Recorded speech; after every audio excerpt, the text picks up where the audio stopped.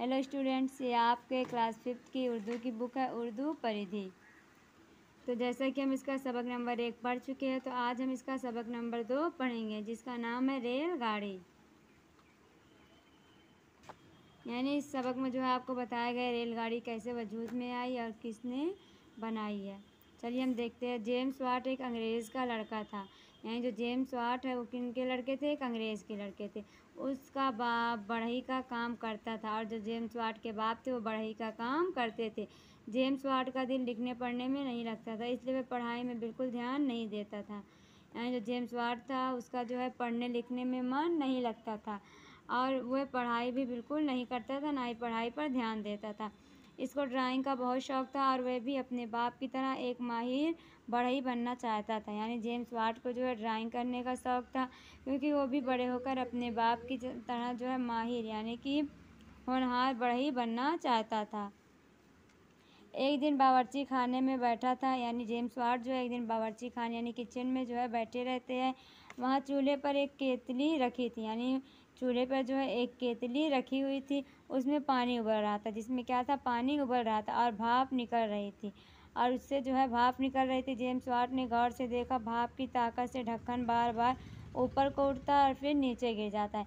यानी James Watt उसे ध्यान से देखते हैं कि किस तरह जो है भाप से भाप की ताकत जो होती है, ढक्कन को बार बार ऊपर कर देती है, उसके बाद जो है वो नीचे गिर जाता है।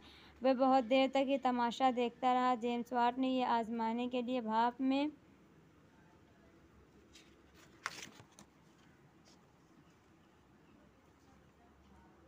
कितनी ताकत है उस पर कोयला रख दिया।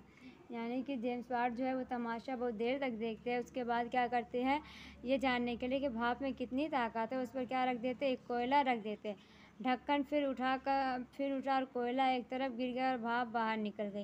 यानी जब उसके अंदर भाप भर गई तो क्या होता है, ढक्कन फिर भाप की ताकत से जो है ऊपर उठ जाता है और कोयला जो है गिर जाता है। वह समझ गया कि भाप में बहुत ताकत है। उससे जेम्स वाट ये समझ जाता है कि जो है भाप में बहुत ज़्यादा ताकत है। जेम्स वाट ने और तजुर्बे किए, फिर उसके दिमाग में एक नई चीज़ ईजाद करने की तरकीब है जो जेम्स वाट होते हैं, वो बहुत से तजुर्बे करते हैं। उसके बाद जो है उन्हें, उनके दिमाग में एक नई चीज़ ईजाद मतलब होता बनाने का ख्याल जो है आया। और उसने भाप की ताकत से चलने वाला एक इंजन बनाने में कामयाबी हासिल की।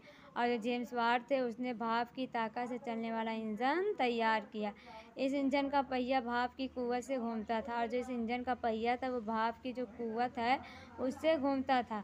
इस इंजन में लकड़ी और कोयला जलाकर पानी गर्म किया जाता था। और जो ये इंजन था, इसमें जो है लकड़ी और कोयला जलाकर जो है पानी गर्म किया जाता था। कुछ दिनों बाद उस इंजन में सुधार करके जॉन स्टीफन ने लोहे की पटरी पर चलने वाला इंजन बनाया। यानी जेम्स वाट ने भाप का इंजन बनाया था। उसके कुछ दिन बाद जो है, उस इंजन में सुधार करके जॉर्ज स्टीफन जो होते हैं, वो लोहे की पटरी पर चलने वाला जो इंजन है, वो तैयार करते हैं। उसके पीछे डब्बे जोड़कर पहली रेलगाड़ी बनाए और फिर उसके बाद जो है, वह इंजन के पीछे जो है डब्बे जोड़ देते हैं और वो पहली रेलगाड़ी जो है वो वजूद में आती है। फिर तो दुनिया भर में पटरियों पर छुक छुक करती रेलगाड़ी दौड़ने लगी। उसके बाद जो है पूरी दुनिया में जो है रेलगाड़ी पर, पटरियों पर चलने वाली रेलगाड़ी जो है वो दौड़ने लगी। और दोनों का सफ़र, और दिनों का सफ़र घंटों में तय होने लगा। और जो पहले सफ, रेल नहीं थी तो इसलिए जो है सफ़र करना मुश्किल होता था। यानी लोगों को कहीं जाने के लिए ज़्यादा वक्त लगता था। लेकिन जब रेल वजूद में आए, उसके बाद जो होता है, दिनों का सफ़र जो है कुछ ही घंटों में तय हो जाता था। माल एक जगह से दूसरी जगह ले जाने में मदद ली और एक शहर से दूसरे शहर जाना बहुत आसान हो गया। यानी जो माल था, उसे एक जगह से दूसरी जगह ले जाने में मदद मिलती है। और शहर से दूसरे शहर जाना भी जो है बहुत आसान हो हो गया था।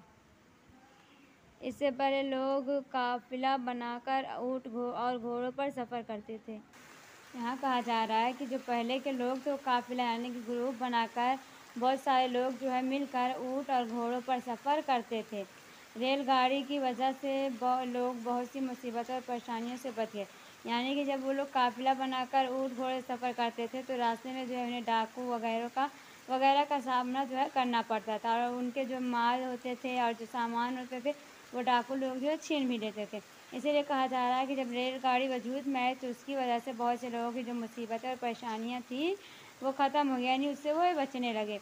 लेकिन अब छुक करने वाले भाप के इंजन एक पुरानी यादगार बन चुके हैं, यानी जो पहले भाप के इंजन होते थे वह अब नहीं होते हैं, क्योंकि वे बहुत पुराने हो चुके हैं। क्योंकि रेलगाड़ी में मज़ीद तरक्की और भाप के बजाय रेलगाड़ी अब डीजल और बिजली की ताकत से चलती है। यानी कि पहले जो इंजन था वो भाप से चलता था।